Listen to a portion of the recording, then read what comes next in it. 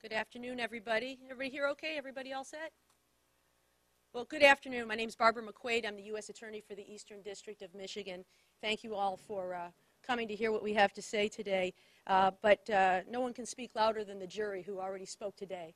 And as I'm sure you have heard, the jury has convicted Kwame Kilpatrick of racketeering, extortion, bribery, fraud, and tax violations.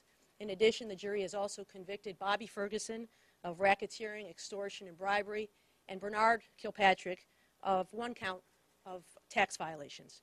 With today's convictions, 35 different people have now been convicted in connection with corruption in our investigation into City Hall during the Kilpatrick administration. The jury spoke to members of the press after their verdict. I know many of you were there, uh, and uh, no one could have said it more beautifully, I think, than what the jury had to say. They said that they recognized that they were the voice of this community, and they recognized that this was not a victimless crime. And they said that although they didn't feel anger and they didn't uh, want to uh, uh, hurt the defendants, they saw it as their responsibility to hold these defendants accountable for their conduct. One juror said that she is a Detroiter and voted for Kwame Kilpatrick for mayor twice herself, but that the evidence that she saw in this case made her stomach turn. And so the jury did what they were supposed to do. They followed their responsibility to convict these defendants and find them guilty. I want to introduce some of the other people who are here with me today. Bob Foley, who is the special agent in charge of the FBI in Detroit. Eric Martinez, the special agent in charge of the IRS criminal investigations. Randall Ash, who is the special agent in charge for the Environmental Protection Agency criminal investigations. Assistant U.S. attorneys who handled this case, Mark Chutko, Michael Bullotta, Jennifer Blackwell, and Eric Doeh, and the case agents who worked so hard to put this investigation together.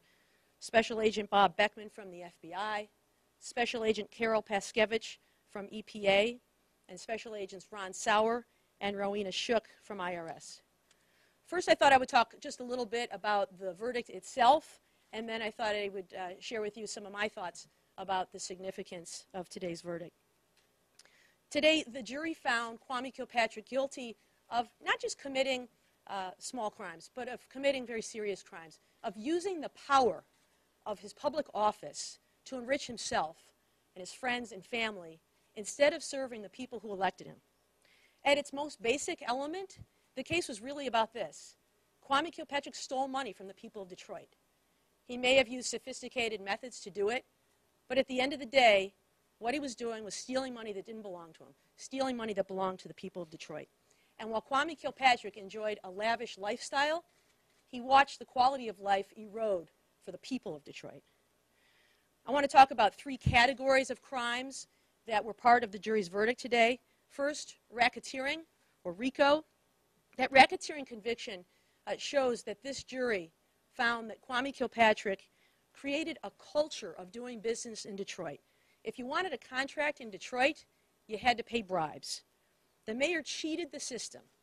If you wanted a contract, you had to get his friend Bobby Ferguson in on one of the contracts. He had to have a subcontract. He had to have a piece of the action. And if he wasn't part of the contract, then you didn't get to do business in Detroit. In all, Bobby Ferguson received $127 million worth of city contracts from the city of Detroit. Those weren't Kwame Kilpatrick's contracts. Those are the people's contracts, and it was that money that he squandered. The former mayor was not focused on running the city. He was focused on using the mayor's office as a money-making machine for himself and his family and friends. He was grabbing money from the citizens that he was elected to serve. Second, I want to talk about the Kilpatrick Civic Fund. This was the civic fund that Kwame Kilpatrick set up purportedly to serve the citizens of Detroit the youth of Detroit, seniors of Detroit, voter education, and he stole money from that nonprofit organization. He stole money from the donors, half a million dollars. And he spent it on things like yoga lessons for himself, golf clubs, vacations at luxury resorts, summer camp for his kids, things we'd all love to spend money on, but not money we don't have. And that money came right out of the pockets of the people of Detroit. Kwame Kilpatrick didn't lead the city, he looted the city. And third, the state arts grant.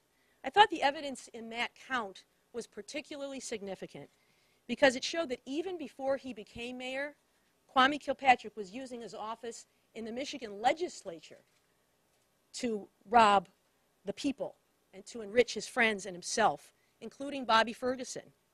He was abusing power even before he became mayor of Detroit. So it was not the power of City Hall that corrupted Kwame Kilpatrick.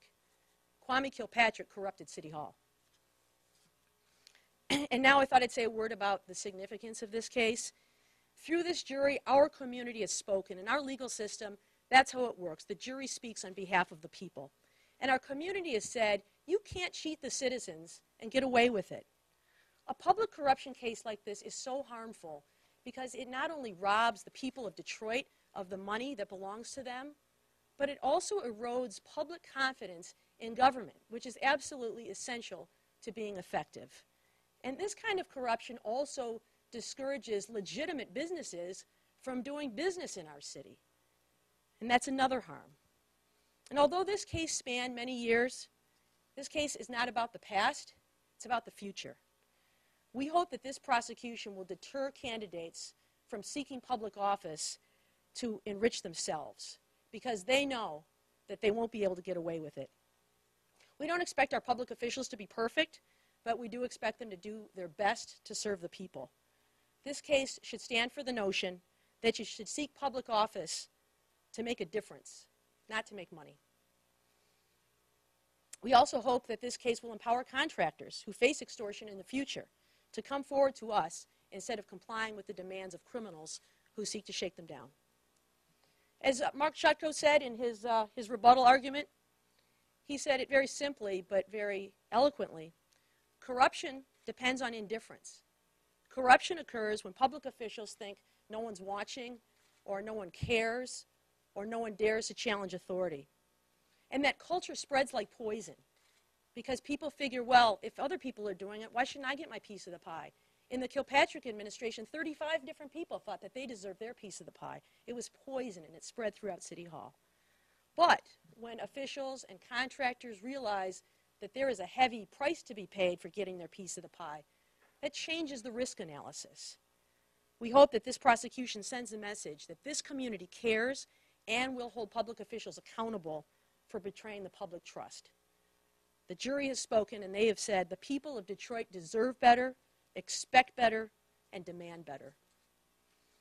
And speaking of the jury, I, I want to say just a word of thanks to this jury. They were incredibly conscientious. I have never seen a jury like this. They've come for six months, given up uh, so many aspects of their personal lives, made great sacrifices, uh, and were incredibly diligent in uh, their attention to the evidence, in their deliberations, and uh, we are so appreciative to them for their very hard work and taking their civic duty so responsibly. This is also a noticeably diverse jury uh, with great racial diversity, which I think is important because it instills public confidence in their verdict. I also want to thank the two grand juries that investigated uh, this case. They were just as diligent as the trial jury, and we are grateful for their service as well. I want to thank Judge Edmunds and her staff the court staff, the U.S. Marshal Service, uh, for all of their hard work and professionalism for carrying out this trial and keeping everyone on task. And finally, I want to say a word about this team. Today's verdict is the culmination of years of hard work by the people you stand, see here standing with me and also by dozens of others who are not here today, uh, people like Jeff Collins, Steve Murphy, Terry Berg, Lynn Helland, and while we are all gratified by the jury's decision to hold these defendants accountable, uh, this is not a day for celebration by the prosecution. This case was hard. It was difficult, but it was necessary. And the men and women that you see standing before you here today have given up countless nights and weekends and holidays with their families to work on this case, away from their families with no additional pay for overtime. In contrast to Kwame Kilpatrick, this is real public service. And I am deeply proud of their work.